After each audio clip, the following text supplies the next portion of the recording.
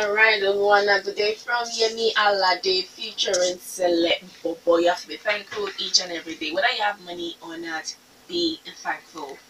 Alright, here is the brands and industry segment of the Daybreak Show. My name is Ololade Sanyaolu. This program where we roll out the stories um, in the business sector.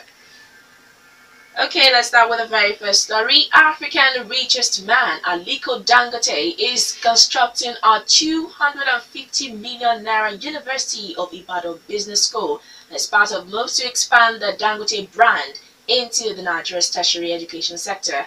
The business school, according to Dangote, will soon be ready for commissioning.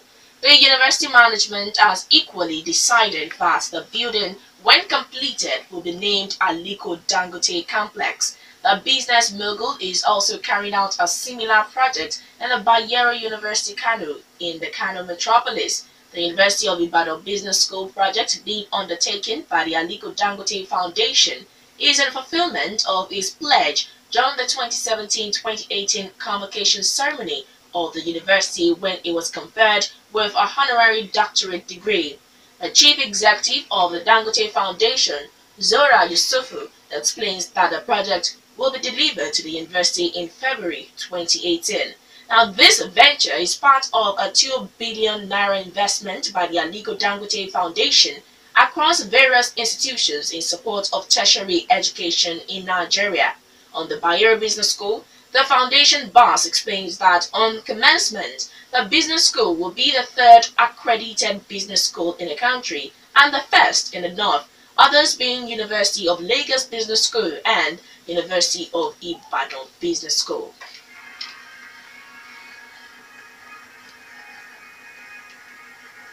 Moving to the petroleum sector, Nigerian National Petroleum Corporation, NNPC says 13 out of the 35 investors seeking to establish Modular Refinery has been issued with licenses by the Department of Petroleum Resources, as DPR.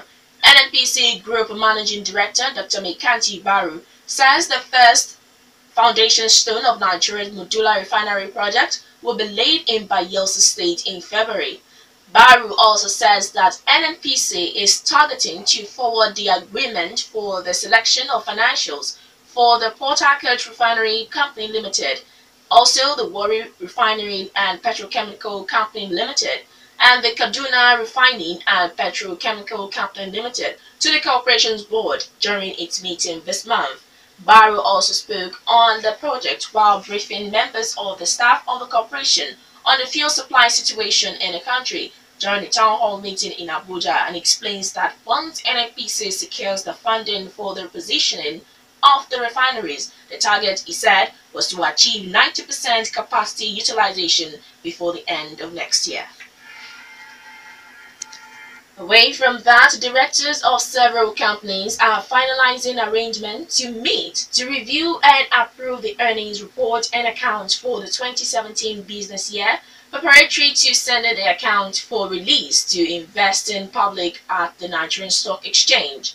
Boards of Directors of United Bank for Africa UBA PLC, Guaranty Trust Bank GT Bank, Zenith Bank PLC, Continental Reinsurance and many others quoted companies have scheduled meetings later this month to approve the audited financial statement and account for the year ended December 31, 2017. The meetings will, among others, consider dividend recommendations to be made to shareholders. The Board of Directors of UBA has scheduled its meeting for Monday, January 29, 2018, where the board will consider the financial statement for 2017 and also proposals for final dividend for the 2017 financial year. UBA had earlier paid an interim dividend of 20 kobo per share after the audit of its 2017 half-year result. Also, the Board of Directors of Continental Reinsurance are scheduled to meet on Wednesday, January 31, 2018 in Lagos. Company Secretary, Continental Reinsurance PLC, Abimbola Falano, in a statement confirmed that the meeting would discuss dividend payment. The board of Fardeco will also be meeting later today to discuss dividend payment.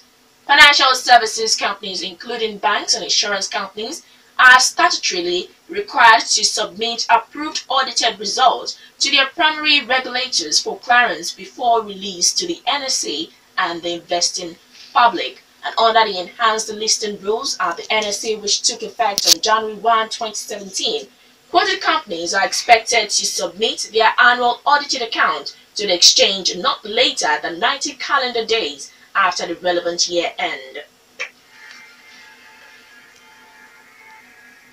Nascon Allied Industry PLC, a subsidiary of Dangote Industries Limited, says it is investing in backward integration projects to add more value to both its shareholders and the Nigerian economy. Nigerian, or chairman of the company's board of directors of Nascon, Mrs. Yemisi Ayeni, announces this while addressing stockbrokers on the floor of the Nigerian Stock Exchange. Addressing stockbrokers, she says the company has performed strongly despite the harsh operating environment, delivering good returns to all stakeholders.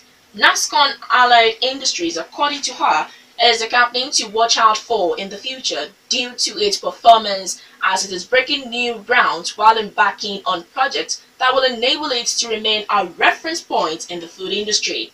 The company's managing director and chief executive of Nascon, Mr. Paul Farrer, also says the company is planning fresh investments that would enable it to boost efficiency in its operations. The exchange managing director and chief executive, Mr. Oscar Onyema, in his welcome remarks, commended the board and management of Nascon for their efforts in ensuring that the company is run effectively.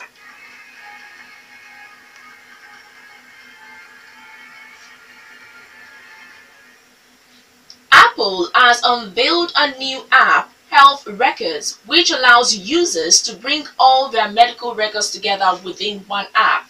Rather than logging into every single provider separately, the app Health Records will work with existing doctors and hospitals to put all health information into one place. The app is currently available to patients of 12 medical institutions in the US, but more will follow and all data will be encrypted to ensure privacy.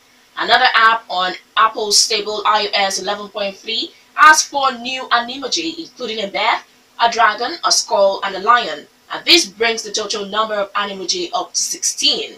Business Chat will also launch within the Messages app as an 11.3 beta feature. And this will allow users to communicate directly with business such as Hilton, Discover, and Wells Fargo. Alright, and with that story, we come to the end of brands and industry segment of the Daybreak Show. At a quarter past nine, it will be time for the open day segment of the Daybreak Show. My name is Ololade Sanyaolu. Please to stay tuned.